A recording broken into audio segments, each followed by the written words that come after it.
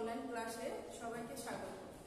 শিক্ষার্থীরা, আজকে আমি তোমাদের চতুর্থ শ্রেণি বাংলাদেশ বিশ্ব পরিচয় ক্লাসটি নিব।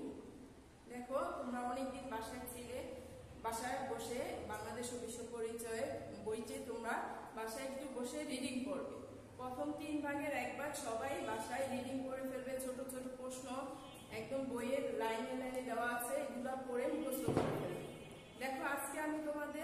প্রথম অধ্যায়ে আমাদের পরিবেশ ও সমাজ।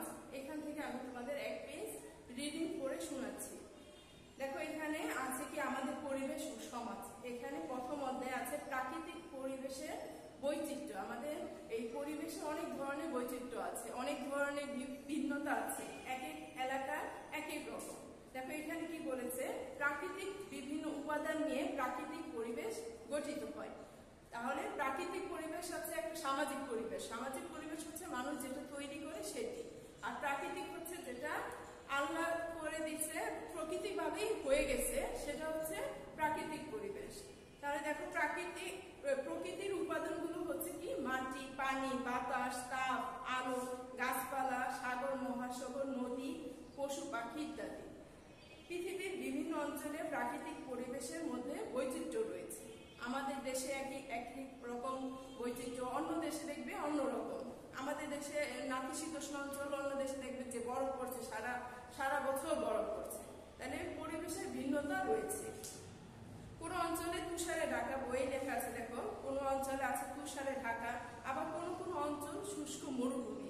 মরুভূমি অনেক এলাকায় আছে যে মরুভূমি বিভিন্ন স্থানে জলবায়ুর মধ্যেও রয়েছে ভিন্নতা কোথাও জলবায়ু শীতল আবার কোথাও উষ্ণ কোথাও গরম থাকে সবসময় কোথাও থাকে অনেক ঠান্ডা কোন স্থান শুষ্ক আবার কোথাও বৃষ্টির পরিমাণ বেশি থাকে বাংলাদেশের উত্তর ও দক্ষিণ অঞ্চলে প্রাকৃতিক পরিবেশের ভিন্নতা রয়েছে। আমাদের দেশেই উত্তরের দিকে একই রকম পরিবেশ, আবার দেখা যায় দক্ষিণে অন্যরকম পরিবেশ। দেখ, উত্তর অঞ্চলের ভূমি একটু উঁচু, নদ নদীর সংখ্যা থাকে কম, আর গ্রীষ্মকালে অনেক গরম পড়ে, শীতকালে বেশ ঠান্ডা পড়ে। আবার দেশের দক্ষিণ অঞ্চলের ভূমিগুলো একটু নিচু, সেখানে কি হয়, নদী, অনেকগুলো নদী আছে, অনেক নদী একসাথে মিলিত হয়েছে সেখানে। নদীর কারণে জন্য বন্যাও বেশি হয়। দেখো, এই অধ্যায়টা তোমরা ভালো করে, এই অধ্যায় সহ অন্য অধ্যায়গুলো ভালো করে পড়বে এবং বোঝার চেষ্টা করবে। এখন দেখো, এই অধ্যায় তোমাদের শেষে, বইয়ের শেষে তোমাদের কিছু নমুনা প্রশ্ন দেওয়া থাকে, একদম সব শেষ পেজটায়। সেখানে দেখো, এই অধ্যায় থেকে দুটি প্রশ্ন আছে, আমি তোমাদের সেটা এই রিডিংই পড়িয়েছি, সেটা তোমাদের বলছি, দেখো। প্রাকৃতিক পরিবেশের তিনটি উপাদানের নাম লেখো তাহলে প্রথমে আমাদের প্রাকৃতিক পরিবেশে অনেকগুলো উপাদান দেওয়া আছে যেমন মাটি, পানি, বাতাস, তাপ, আলো, গাছপালা সাগর মহাসাগর, নদী, পশু, পাখি ইত্যাদি। সেখান থেকে তোমরা তিনটি নাম পড়ে ফেলবে। তারপর দুই নম্বরটা আছে কি, বাংলাদেশে কোন কোন অঞ্চলে বেশি বন্যা হয়? তাহলে বাংলাদেশে এখানে নিজের প্যারায় আছে দেখো, যে দক্ষিণ অঞ্চলে বন্যাটা একটু বেশি হয়, কারণ এখানে নদ নদীর সংখ্যা বেশি, এই জন্য।